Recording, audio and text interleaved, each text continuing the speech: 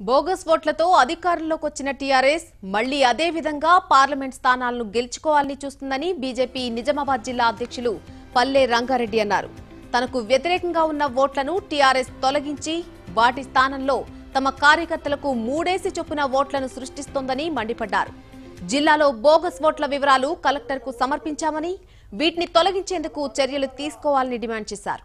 దాదాపు పది నుంచి పదిహేను వేల మంది బోగస్ ఓట్లని చేర్పించి బోగస్ ఓట్లు వేసి- ఓట్లు వేసుకోవడం వల్ల వాళ్ళు టీఆర్ఎస్ పార్టీ అభ్యర్థిని గెలిపించుకోవడం జరిగింది. ఇలా ప్రభుత్వాన్ని ఏర్పాటు చేయడం జరిగింది.